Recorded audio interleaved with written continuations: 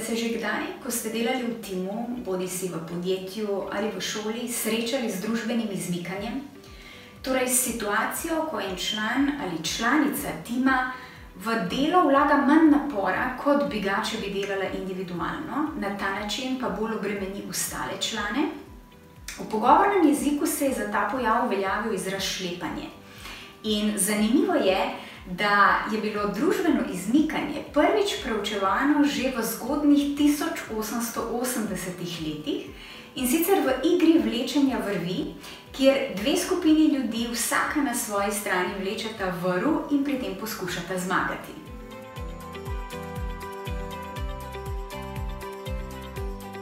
Z Barbaro naj jo je zanimalo, Kakšen odnos imajo študenti do družbenega izmikanja, ko pripravljajo skupinske seminarske naloge, in kako individualni dejavniki vplivajo na ta odnos?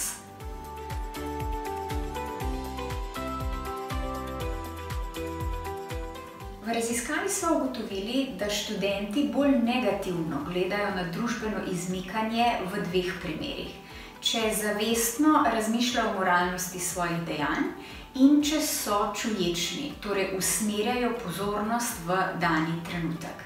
Nadalje se je pokazalo, da stališča pozitivno vplivajo na študentovo namero o družbenem izmikanju v prihodnje, pri čemer je bil ta vpliv intenzivnejši pri tistih posameznikih, ki so zunanje motivirani.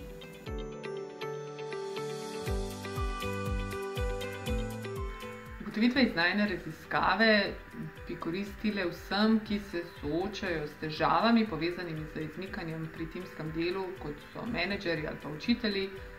Na podlagi tega bi lahko predvsem razumeli izmikanje in pa seveda ga tudi omejili.